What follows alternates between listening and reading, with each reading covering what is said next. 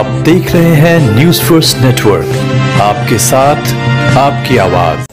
खबरारी जनपद जौनपुर से जहाँ पर पवारा पुलिस द्वारा सराहनीय कार्य सामने आया है थाना पवारा पुलिस द्वारा 419, 420, चार सौ सड़सठ चार सौ अड़सठ एक सौ बीस बी पाँच सौ छः भारतीय दंड संहिता के तहत संबंधित दो नफर वांछित अभियुक्त गणों की गिरफ्तारी की गई है और उन्हें जेल भेज दिया गया आइए देखते हैं हमारी खास रिपोर्ट।